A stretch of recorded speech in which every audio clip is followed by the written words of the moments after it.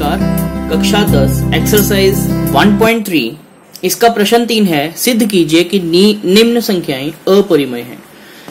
इसमें पहला भाग है, एक बटा रूट दो। ये बिल्कुल वैसा ही है जैसा आपने इस प्रश्नावली का प्रथम प्रश्न किया था, जिसमें कि आपने रूट पाँच को एक परिमय, अपरिमय संख्या सिद्ध किया था। आइए देखिए। मान लो, एक बटा रूट दो। हम इससे उल्टा मानते हैं, हमें अपरिमय सिद्ध करना हम इससे पहले परिमय मानते हैं। मान लो, एक बटा रूट दो, एक परिमय संख्या है। यदि यह परिमय होगी तो यह ए बटा बी के रूप में होगी, जहाँ पर बी ज़ीरो होगा। ए और बी पूर्णांक होंगे, पूर्णांक यानी प्लस वाले माइनस वाले या ज़ीरो नंबर कुछ भी हो सकते हैं, और दूसरा ए और बी सह अभाज्य होंगे। इसमें जो सबसे इंपॉर्टेंट पॉइंट है वो ये है कि ए और बी सह अभाज्य होंगे। यानी ए और बी में कोई भी सार्व गुणनखंड किसी एक पहाड़ में ए और बी दोनों नहीं आ सकते। सह अभाज्य का यह मतलब है। यदि एक बटा रूट दो इसके बराबर है तो हमने क्या किया? इन दोनों को उल्टा कर दिया। एक बटा रूट दो का उल्टा ले लिया रूट दो तो यहाँ भी ए बटा बी का उल्टा ले लिया बी बटा ए अगले स्टेप में ए यहाँ भाग हो रहा था, उधर जाके हो गया गुना, रूट दो ए बराबर बी बन गया। दोनों का स्क्वेयर कर दिया तो रूट दो का स्क्वायर हो गया दो, ए का स्क्वायर हो गया ए स्क्वायर, बराबर बी का स्क्वायर हो गया बी स्क्वायर। यहाँ हमने इस इक्वेशन का स्क्वायर किया है। इससे हमें यह पता चलता है कि ए को किसी नंबर दो से गुना करेंगे तो बी आएगा, बी स्क्वायर आएगा। इसका मतलब दो जो है, बी स्क्वायर को विभाजित करता है है ना? बी स्क्वायर किसके बराबर है? ए स्क्वायर गुना दो। इसका मतलब दो बी स्क्वायर को विभाजित करता है। और यदि दो बी स्क्र को विभाजित करता है तो दो बी को भी विभाजित करता है। तो हम मान लेते हैं कि अगर बी दो के पहाड़े में आता है तो हम मान लेते हैं एक नंबर होगा के जिसको दो से गुना करने पे बी आएगा, जहाँ के कोई पूर्णांक है। अब ये जो बी का मान है बी बराबर दो के, इसे हम इक्वेशन वन में रखेंगे। इस इक्वेशन में, देखो, यहाँ था टू ए स्क्र यही लिखा टू ए स्क्र बराबर बराबर बी की जगह लिखा, ये जो आया था टू के बी का स्क्वायर था तो टू के का स्क्वायर हो गया। टू ए स्क्वायर बराबर टू का स्क्वायर हो गया फोर के का स्क्वायर हो गया के स्क्वायर दो इधर ए के साथ ए स्क्वायर के साथ गुना हो रहा था, उधर जाके हो गया भाग, दो से चार कट गया दो। तो हमारे पास आ गया ए स्क्वायर बराबर टू के स्क्वायर इसका मतलब के स्क्वायर को दो से गुना करने पे ए स्क्वायर आएगा। इसका मतलब दो ए स्क्वेयर को विभाजित करता है। यदि दो ए स्क्वेयर को विभाजित करता है तो दो ए को विभाजित करता है। इसको दे दिया इक्वेशन नंबर तीन। अब इस इक्वेशन को और इस इक्वेशन को ध्यान से देखिए। यहाँ लिखा है, यहाँ लिखा है, दो बी को विभाजित करता है और यहाँ लिखा है, दो ए को विभाजित करता है। इसका मतलब दो बी को भी विभाजित करता है और दो ए को भी विभाजित करता है।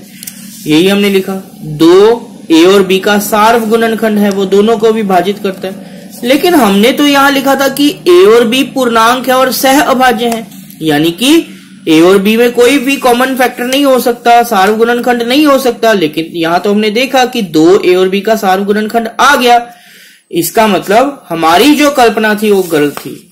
हमारी कल्पना क्या थी कि मान लो ए बटा, एक बटा रूट दो, एक परिमय संख्या यह कल्पना गलत है।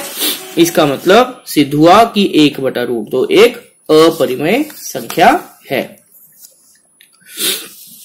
तो इस हिसाब से बच्चों, हमने इसे सिद्ध किया है। आइए इसका दूसरा भाग देखते हैं। दूसरा भाग है, जैसा आपका प्रश्न दो था। मान लो रूट सात रूट पाँच एक अपरिमय संख्या। तो मान लेते हैं सात रूट पाँच। इसमें ऐसे वाले सवालों में तो हमने क्या करना है? जहाँ पे रूट के साथ एक नंबर भी दिया हो तो वहाँ हमने क्या करना है? नंबर को दूसरी तरफ़ ले जाना है। देखो कैसे। सात रूट पाँच बराबर ए बटा बी। सात इधर गुना हो रहा था तो उधर जाके हो गया भाग। ए बटा सात भी हो गया। रूट पाँच इधर ही बच गया। अब क्लियरली यहाँ दिखाई देती है कि इस बराबर के निशान के लेफ़्ट साइड जो संख्या है, वो रूट वाली है, यानी अपरिमेय। राइट साइड जो संख्या है वो है ए बटा सात बी जिसमें से ए बटा बी को हम पहले ही मान चुके हैं कि यह परिमय संख्या है। सात भी अपने आप में परिमय संख्या है, इसका मतलब ए बटा सात भी पूरा ही है परिमय संख्या होगा। तो अब एक इक्वेशन में लेफ़्ट साइड अपरिमय और राइट साइड परिमय हो ही नहीं सकती। यही हमने लिखा। इक्वेशन एक में लेफ़्ट हैंड साइड अपरिमय है, जबकि राइट हैंड साइड परिमय है। यह संभव नहीं है। इसका मतलब हमारी जो कल्पना थी वो गलत थी। हमारी कल्पना थी, मान लो सात रूट पाँच एक परिमय संख्या है, यह कल्पना गलत है, इसका मतलब सिद्ध हुआ कि सात रूट पाँच एक अपरिमय संख्या है। बिल्कुल सेम थर्ड पार्ट है। छ प्लस रूट दो को हमने अपरिमय सिद्ध करना है। पहले उल्टा मान लिया, मान लो छ प्लस रूट दो एक अपरिमय संख्या है। तो जब परि सॉरी सॉरी सॉरी ये परिमय संख्या है। इसको पहले परिमय मानना है हमने। तो छ प्लस रूट दो परिमय है तो ए बटा बी रूप में होगा, जहाँ बी ज़ीरो होगा ए और बी पूर्णांक होंगे, और सह अभाज्य होंगे। यानी इनका कोई भी कॉमन फैक्टर नहीं होगा। अब छ इधर रूट दो के साथ प्लस हो रहा था तो उधर जाके हो गया माइनस फिर से वही चीज़ इक्वेशन इक्वल टू के लेफ़्ट साइड पर इक्वेशन के लेफ़्ट साइड पर रूट दो है रूट दो है, जो कि अपरिमय संख्या है। और इक्वेशन के राइट साइड पर ए बटा बी परिमय ही है, हमने पहले ही माना, और छ अपने आप में परिमय है, इनको घटा के भी एक परिमय संख्या ही आएगी। फिर वही समस्या हो गई कि इस इक्वेशन वन में लेफ़्ट हैंड साइड अपरिमय और राइट हैंड साइड परिमय हो गई, जो कि संभव नहीं है। इक्वेशन वन में लेफ़्ट हैंड साइड अपरिमय है, जबकि राइट हैंड साइड परिमय है, यह संभव नहीं है।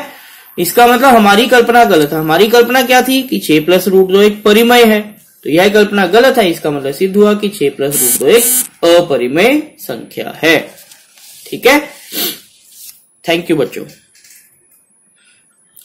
इससे आप ये भी देखते हैं कि ऐसा कोई भी रकम आपको आ जाए, सात रूट पाँच यहाँ दिया है, छह रूट तीन आ जाए, दो रूट चार आ, दो रूट पाँच आ जाए, सात रूट ग्यारह आ जाए, सभी को आप इसी प्रकार से हल कर सकते हैं। और यदि छ प्लस रूट दो है इसकी जगह तीन प्लस रूट पाँच आ जाए, पाँच प्लस रूट तीन आ जाए, दो प्लस रूट सात आ जाए, ऐसा कुछ भी आ जाए तो आप इसी तरीके से बिल्कुल सेम स्टेप्स के साथ उसको हल कर सकते हैं।